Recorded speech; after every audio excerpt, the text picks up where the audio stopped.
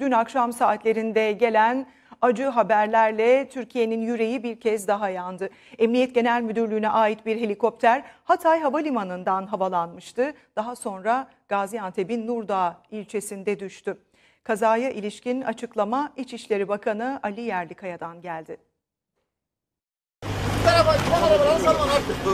Gaziantep Havalimanı'na gitmek için Hatay'dan havalanan Emniyet Genel Müdürlüğü Havacılık Daire Başkanlığı envanterine kayıtlı helikopter, Gaziantep'in Nurdağ ilçesinde kaza kırıma uğradı.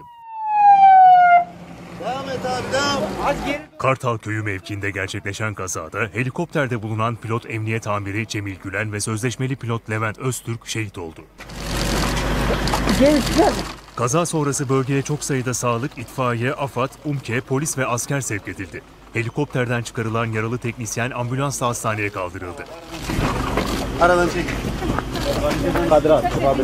Geniş güvenlik önlemlerinin alındığı kaza bölgesine yetkililer dışında kimse yaklaştırılmazken şehit olan pilotların naaşları oldukları yerden güçlükle çıkarılarak Gaziantep Şehir Hastanesi morguna kaldırıldı. Sosyal medya hesabı üzerinden açıklamada bulunan İçişleri Bakanı Ali Yerlikaya, helikopter kazasının 22.49 civarlarında gerçekleştiğini duyurdu. Yerlikaya açıklamasında, Birleştirilmiş Hava Harekat Merkezi'nin temas ettiği helikopterimizde bulunan bir teknisyenimiz de yaralanmıştır dedi. Şehit pilotların ailelerine başsağlığı dileyen Yerlikaya, tedavi altına alınan teknisyen polis için de acil şifa dileklerinde bulundu.